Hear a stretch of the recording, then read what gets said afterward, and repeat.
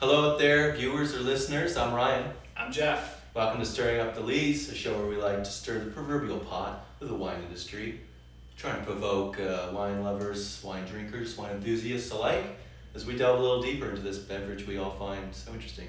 On today's episode, we're drinking boxed wine like ballers. Oh.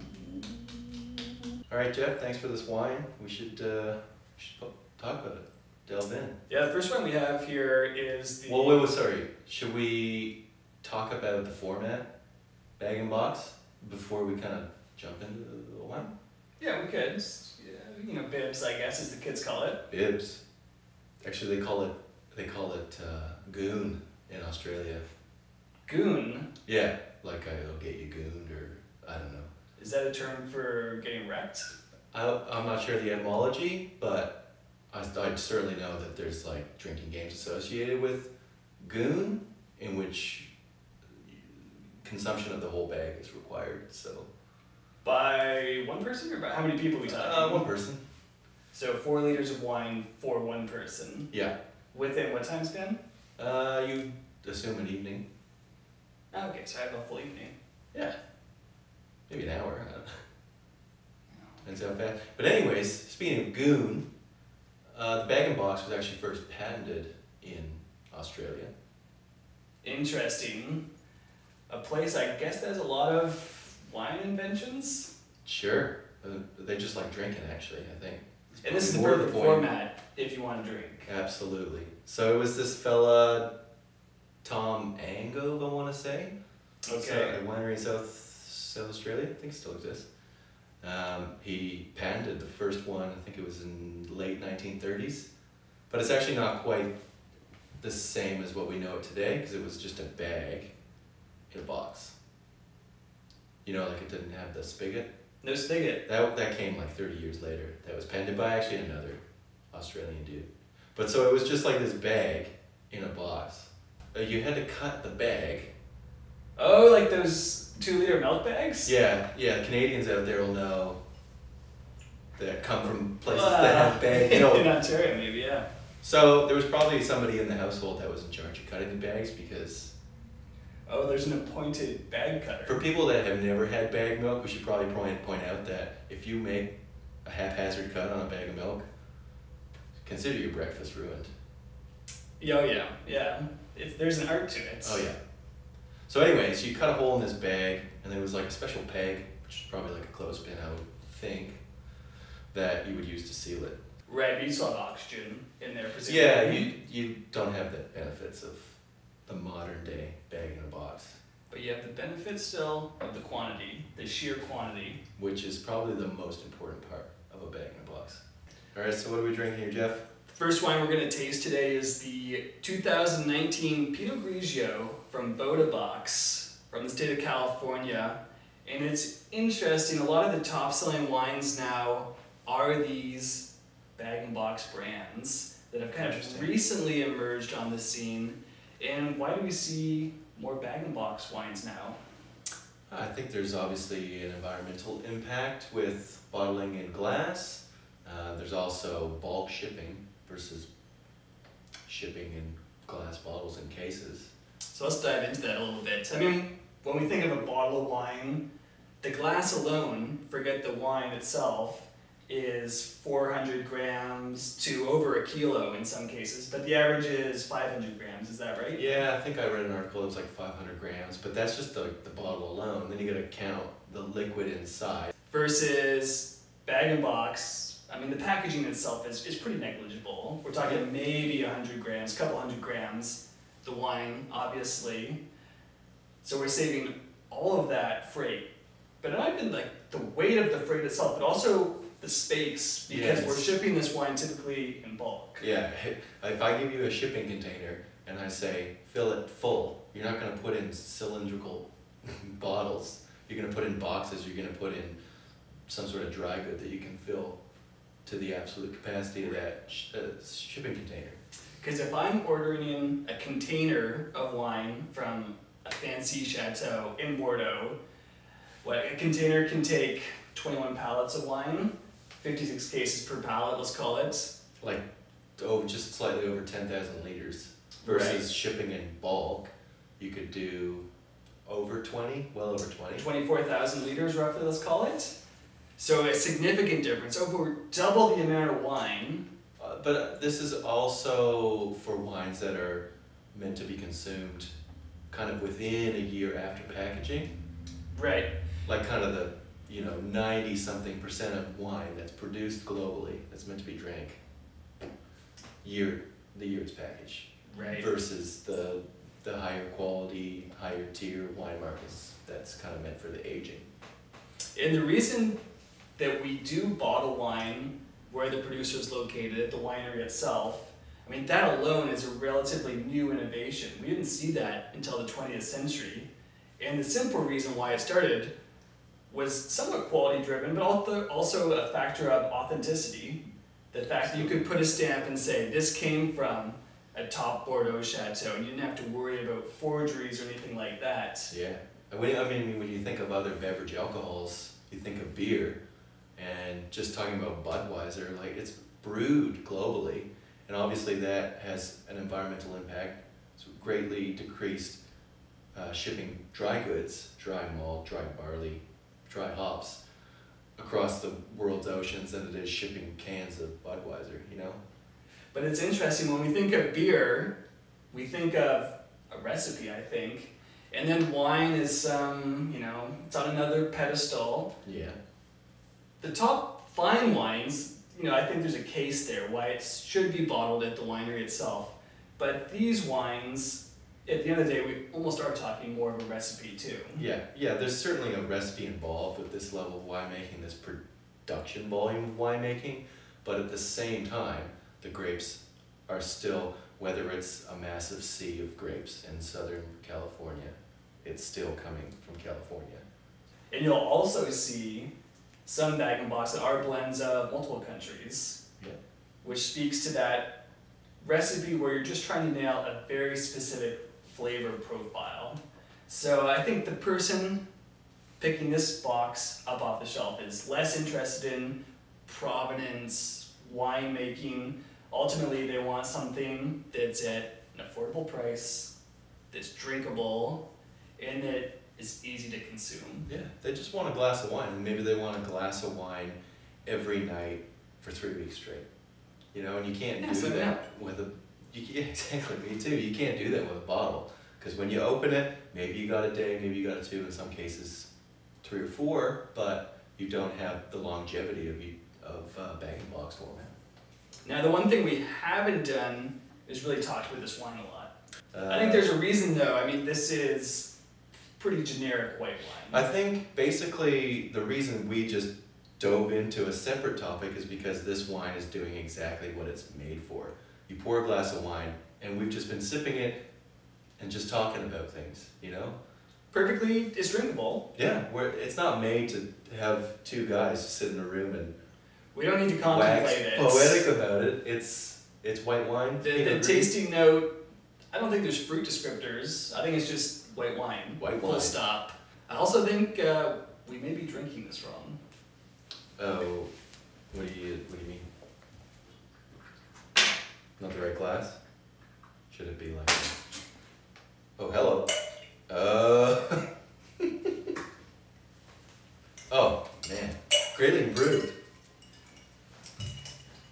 I know for a fact this is how my grandma drinks her box wine, so there's got to be something to it. So it's in the fridge. It's cold already, but It's gonna be ice cold, baby. it's gonna be ice cold. Yeah. That's kind of like getting back to beer again. When you think of Coors Light, and it's like uh, certified cold. Remember those cans they did where it changed color when it was a, Oh, a yeah. temperature of maximum appreciation? It's like, well, we chill it down so that you can you're sensory deprived of it. But You can't taste it. And I think what's interesting here, that there's nothing that I find offensive. There's no obvious winemaking flaws or faults. There is some noticeable residual sugar. It's about 9 grams per liter residual sugar. If anything, the ice cube helps to just dilute that down. absolutely, yeah, I, I get like a bit of astringency. So obviously they're probably cropping it high and Ten trying to get as much as they can out of those clusters. which is fair and it's a great business model, but you can you can taste it on the end product. Yeah. So they're using a bit of that residual sugar to hide that, and uh, it's working for me. I, I, I could see this going down on a beach, on a hike, maybe, maybe you, not me, but some, someone on a hike, and like my wife and I will go backcountry camping, and we'll hike in, because we're not going to carry three, four. It's three liters, right? This this particular bag and box, so we're not carrying that weight in bottles on a hike. So it's great for that sort of thing. yeah, absolutely. Uh, well, let's move on to the next wine. All right.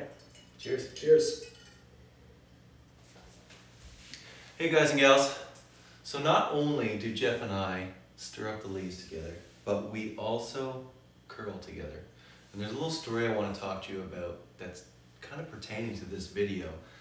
During a Bonspiel, which is a curling tournament, I was not fortunate enough to partake in. There was a door prize that was a handmade wine urn, a pottery wine urn that came with a bag and a box wine. And legend goes that Jeff told his teammates, if we win this door prize, we are drinking that entire bag this evening. And history shows us that they did, and they were incredibly regretful as such. So I'm curious to see, I don't know that he still has it, but I'm interested to know if there's a bag in a box that encourages him to bring it out tonight. Well, Jeff, what's the next one? So next, we're gonna taste the Black Box Cabernet Black Sauvignon. Box? Black Box, like an airplane. Like an airplane black box. This has its own mysteries, Much Uh, like a much like, much like an airplane box. black box. One mystery to me, it does taste a lot like Cabernet. Uh, it's uh, red wine with It's a red wine. stuff in it. There's yeah, some fake oak. It's all it's almost coming across like you, you know you bake cookies or whatever. You put that artificial vanilla extract in. Right. It almost smells like that. I'm gonna give them the benefit of the doubt, saying that they use perhaps a higher quality product, but But we're not talking barrels, to be clear. no, no, no. Like the, there's a, I think there's an oak influence to this wine, but it's certainly not from seeing a nice oak barrel or Right. a oak, a large oak, oak vat. I mean, and to that point, there's probably some mystery to the winemaking potentially as well. Obviously, there's some different considerations from a winemaking perspective when we're looking at bag and box versus a traditional bottled wine. Absolutely. Uh, I mean, there'd be processes. There'd be processes pre-fermentation that you're treating uh, grapes, juice, must with at a production level this high to kind of expedite the process and keep your inputs low. Mm-hmm. But one of the the big things that I've read about for bag and box format is that you don't get the oxygen ingress you would when you're using a cork in a bottle, and actually you still even with a screw cap, you can still get oxygen ingress. Mm-hmm. So what they have to do is essentially like oxygenate the wine. So, like throwing the wine in a decanter. Yeah, like essentially that I think they use like a centrifuge or something to whip it around and, and get like so a a little, a little less sexy, maybe. Yeah, maybe a little less sexy. Uh, but just basically to get some oxygen into that wine, give it some life, because if it's going in a bag, it's it's hermetically sealed. You know, it's it's Right. never seeing the light of day again. And certainly while you're drinking it, when you open it, there's not that cork pull. There's not, you know, you're just siphoning it from a bag that's enclosing it on itself, and there's no air ever getting into it. So I think they go through these steps to to to make it jump out at you in the glass. Right. But there is nothing quite like the magical sound of pulling a spigot out of a cardboard box That's my favorite sound. for the first time. Pull the spigot out. People waxed on about like pulling the cork, and, you know, but it's all about the spigot. It's cracking. You know, it's the press here, and you press in. You hear the crunch of the cardboard. In that sense of adventure, because I feel like every time I'm trying to pour a glass from a spigot, it's like is it gonna get on my glass? I'm not entirely sure. Don't you don't have that It's like- It's it's uh, to be profane. It's like you know, uh, I've pulled the spigot out. I don't know that I'm gonna not wee all over myself. Sometimes you just hope and pray. But uh, there's certainly there's certainly bag and box drinkers out there that are m- more seasoned than you and I. I would say No doubt. There's no doubt. We have a lot to learn still. absolutely. So again, with this wine, uh, when we touched on the white wine, um, Central Central Valley, California. This would be Central Valley, Chile. We're still in the oven. We're still in the oven. We're still in the bulk market. You know, we're pumping mass mass quantities of grapes off individual vines, and uh, I mean, I'm I'd still drink this. I, I would drink it. I like the the first, the Pinot Grigio, a little bit better. To me, and I don't know if you agree or not, I find cheaper whites on the whole a little bit more successful than cheaper reds. Because oftentimes, red producers are trying to make this into something it's not. Absolutely. This is not Napa Cabernet. This is not Napa Cabernet aged in barrels, aged in French oak barrels, aged in French oak barrels for 24 months. this is Chilean Cabernet Sauvignon. It was maybe put in a stainless steel tank for four weeks. I mean, when you think about the processes, some of the greatest white wines of the world are made in quite like obviously there's some dissimilarities, but they're made in a quite a similar fashion as the white wine would be. Whereas with red wines, there's a lot of things to emulate when it comes to the winemaking process in order to come across as uh, a higher quality product. Right, now, Jeff. Uh, anything else you want to add to this wine? You know, I just don't know if we're enjoying this properly still. What do you mean? Are you getting a, Are you getting another ice cube for me? I don't think it needs a. Oh my goodness. the urn. This is the wine urn. Handmade quality shit. We're talking. Amazing. Let's see how it tastes now. oh, it's remarkably better. So, with this, have you put any like like amazing bags of wine in urn? It's a great question because actually today we tried two of the most popular, maybe entry level bag and box brands, but there is some legitimately good wine in boxes right now. Some producers like taking the format seriously, putting some good product in it. They see the purpose. They see the environmental benefit. They see the cost benefit. Well, and they see they could have their wine in an urn like this. Wow. And that's a no brainer to almost anyone. Cheers. Cheers.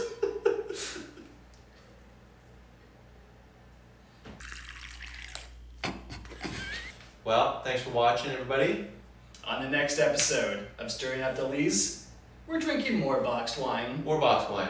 like ballers. We couldn't get enough of it. And it's all we can afford. I don't know. Regardless, next time we're tasting the same wine, one bag and box and one in bottle, Very interesting. and we'll see if there's a difference. bib v biddle. Yeah, the ultimate battle. the ultimate battle. Uh, if you guys like that video, hit the like button. If you uh, if you want to subscribe, you know, tap away like you would spigot of a bag and box. And if you have questions about bag and box, throw them in the comments.